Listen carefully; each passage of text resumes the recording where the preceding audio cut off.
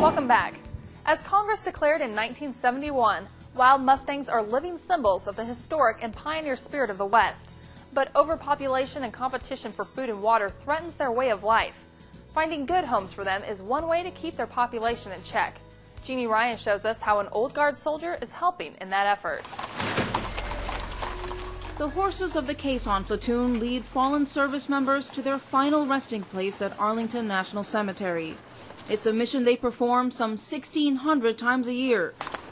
And like the soldiers they serve with, it takes dedication and discipline. The horse has to have a knack for being able to stand still and being able to deal with a lot of things. His, uh, he has to have more of a fight pattern than a flight pattern, so to speak. Lonesome and Wyatt are unique as the only two Mustangs in the platoon.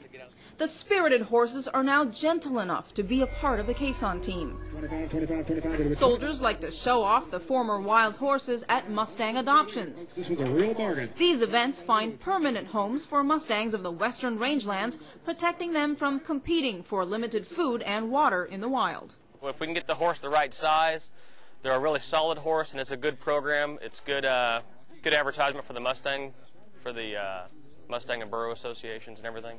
Generally, the Mustangs available for adoption are about 14 hands tall. A hand is 4 inches. To qualify for the Caisson team, the Mustang has to be 15.2 hands or higher, saddle broke, and have some sense about it.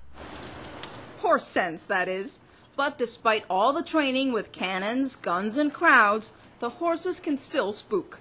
The worst thing in the cemetery is a bag. Any type of bag, whether it be a paper bag or a plastic bag, a Walmart bag, wafting through the air. Your wagon will look like a Z when you're done. They absolutely hate bags.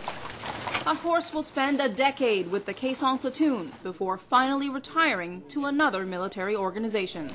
Jini Ryan, Washington.